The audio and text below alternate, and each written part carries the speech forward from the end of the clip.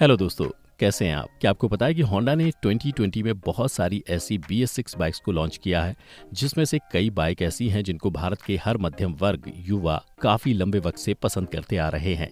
हमें पता है, आप भी जानना चाहते हैं इन बाइक्स के बारे में तो बता दें कि होंडा ने कुछ ही समय पहले अपनी सबसे सस्ती बाइक होंडा यूनिकॉर्न को बी एस सिक्स अवतार के साथ उतारा था।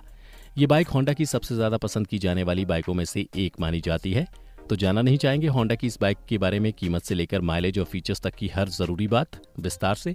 तो बने रहिए इस वीडियो के अंत तक। साथ ही हमारे चैनल एनजे हिंदी को सब्सक्राइब करके बेल का आइकन भी दबा दीजिए, ताकि आप कोई भी वीडियो मिस ना करें।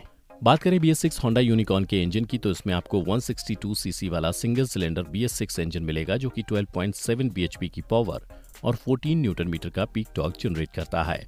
और एक बात, इस बाइक का बी एस फोर इंजन भी इतनी ही पावर और टॉक जनरेट करता था। बात करें फीचर्स की तो Honda Unicorn B S six में बहुत सारे कई कॉस्मेटिक बदलाव किए गए हैं, जिनमें से एक है इंजन किल स्विच अब आराम से बैठने के लिए लंबी सीट डीसी लाइटिंग और ब्लू बैकलिट मीटर कंसोल शामिल है। साथ ही इसके ग्राउंड क्लियरेंस को भी 187 एटी mm बढ़ाया गया है। बात करें कीमत की तो इस बाइक की कीमत में हुई बढ़ोतरी की कोई जानकारी नहीं है, लेकिन माना जा रहा है कि कोरोना वायरस संक्रमण के चलते बिक्री में आई कमी के नुकसान को कम करने के लिए बाइक की कीमत में इजाफा हुआ है।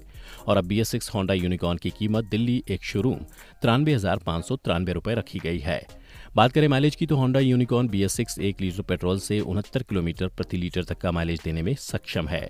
अगर मुकाबले की बात करें तो होंडा की इस बाइक का कड़ा मुकाबला होगा हीरो स्प्लेंडर बी एस और टीवीएस रेडियन बाइक से।